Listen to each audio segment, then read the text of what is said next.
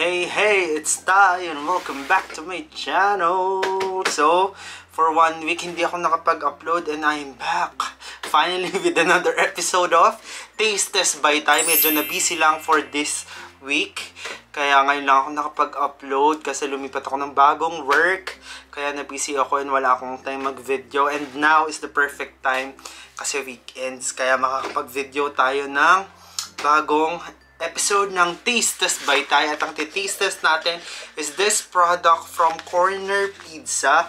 I don't know if this is a part of Kenny Rogers kasi sa, sa loob ng Kenny Rogers ko siya nabili or siguro partner to ng Kenny Rogers pero sa loob ng Kenny Rogers ko talaga siya nabili. So, ayun.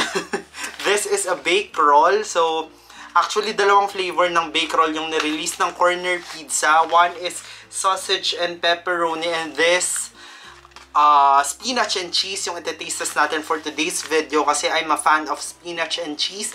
Lalo na yung sa Angel's Pizza and uh, Domino's.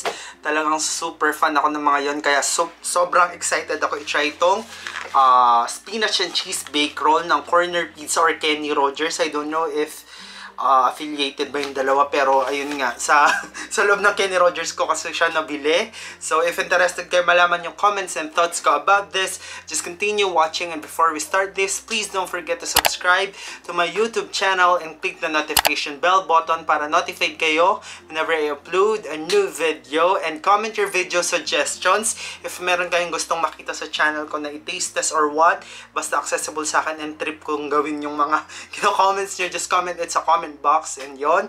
And also, follow me on my other social media accounts. If a flash ka na lang sa screen yung handles ko sa TikTok and Instagram. But without any further ado, umpisa na natin ang Taste Test. So mga katiti, sorry again if may maririnig kayong electric fan. Binuksan ko electric fan. Hindi enough yung lamig ng AC para sa akin sobrang init. So this is 149 pesos pala mga katiki. Tignan natin kung gaano siya kalaki. So ito siya, ganyan siya kalaki. For 149 pesos, pwedeng pwede na yung size niya. Haba o. Oh. Yan.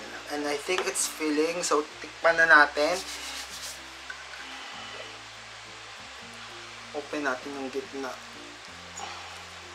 Yan. Parang napaka-green. Sa spinach naman to. Yun. Parang sobrang daming spinach. Nakaka... Ayan, green na green. Kung kitang-kita nyo naman. So, tikman na natin tong spinach and cheese bake roll nila.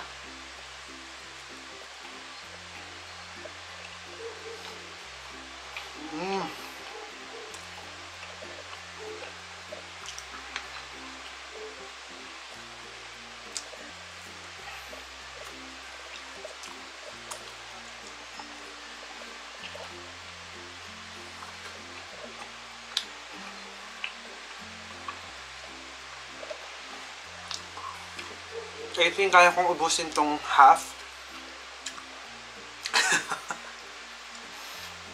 mm.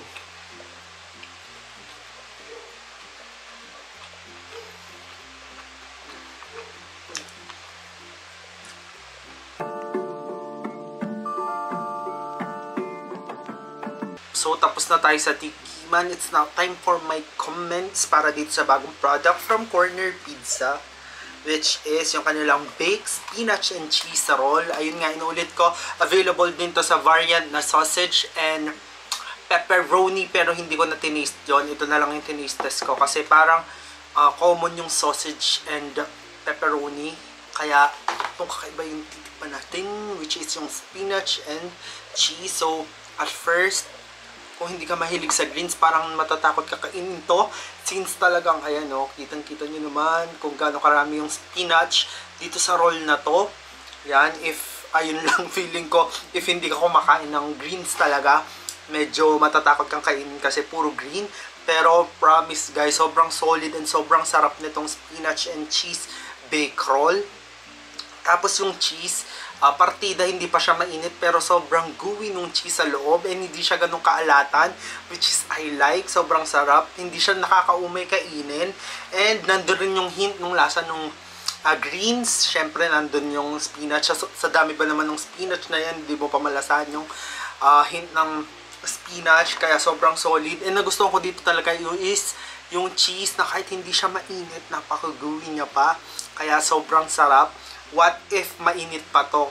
Feeling ko napaka-stretchy ng cheese talaga pag kinain mo to. Kasi medyo matagal na tong ah, siguro mga 1 hour na sa akin tong, tong product na to. Kaya medyo hindi na siya mainit. Hindi ko na rin siya ininit.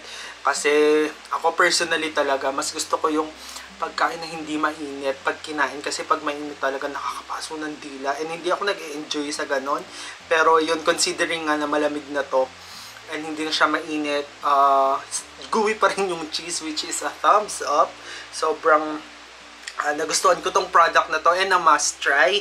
If mapunta kayo sa Kenny Rogers or any branch ng Corner Pizza you should definitely definitely try this bake roll kasi sobrang solid niya and yun. So yun lang yung masasabi ko sa baked spinach and cheese roll ng Corner Pizza mga katiti, hindi talaga nakapagpigil. Inubos ko yung kalahati. Kasi konti na lang naman yon kaya kinain ko na. So, ayun nga, it's now time for my rating para dito sa product from Corner Pizza, which is yung baked spinach and cheese roll nila. So, for this product, bibigyan ko to ng... Perfect! 10 out of 10. Sobrang solid nito. And a must try talaga if madaan kayo sa Kenny Rogers or sa Kenny, P- Kenny Pizza, Corner Pizza. I-try nyong orderin to and promise. Sobrang solid din, hindi kayo magsisisi. Yon ako kasi sobrang solid talaga ng experience ko sa pagkain. And sobrang nag-enjoy ako. Off-cam, ubusin ko talaga to. so, ayun nga, if na-try nyo na siya, let me know your thoughts by commenting sa comment box. If same tayo ng na-taste or na-feel para dito sa baked spinach and cheese roll, bake roll ng Corner Pizza. And that's it for this episode of Taste by Thai. And if you do enjoy watching my video, or kahit hindi nyo yan na-enjoy, you know the drill, like, share, subscribe, and click the notification bell button para notified kayo whenever I upload a new video. And mga titi, sorry ulit if may naririnig kayong hangin kasi binuksan ko yung electric fan. Hindi ko kaya yung init dito sa kwarto. Kahit naka-AC na ako, eh, kailangan ko pala electric fan. So, sorry if may maririnig kayong hangin na naman dyan sa video na to. Yon. For now, this has been Tai. And I will see you guys on my next one. TY.